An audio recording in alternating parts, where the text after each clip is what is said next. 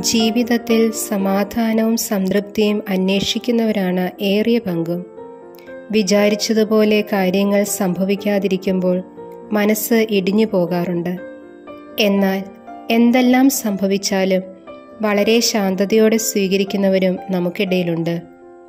പരാജയങ്ങൾക്കും വേദനകൾക്കും അപ്പുറം വലിയൊരു ദൈവാനുഗ്രഹം കടന്നു വരാനുണ്ട് എന്നതാണ് നമ്മയൊക്കെ മുന്നോട്ട് കൊണ്ടുപോകേണ്ടത്. കഴിഞ്ഞുപോയ കാലങ്ങൾക്കും അപ്പുറം സമൃദ്ധിയുടെ തളിരിടുന്ന ഒരു കാലം കൂടി നമുക്കുണ്ട്. ആ ഇടം കണ്ടെത്താൻ ക്രൂശിതന്റെ കൂടെ ഇരുന്നാൽ മതി. ഈ നോമ്പിന്റെ ദിനങ്ങളിൽ നമ്മുടെ ഉള്ളിലുള്ള വേദനകൾ മുറിപ്പെടുത്തുന്ന ഓർമ്മകൾ ഇതെല്ലാം ക്രൂശിതന് കൊടുക്കാം. അങ്ങനെ ജീവിതത്തിലേക്ക് ദൈവാനുഗ്രഹത്തെ സ്വീകരിക്കാം.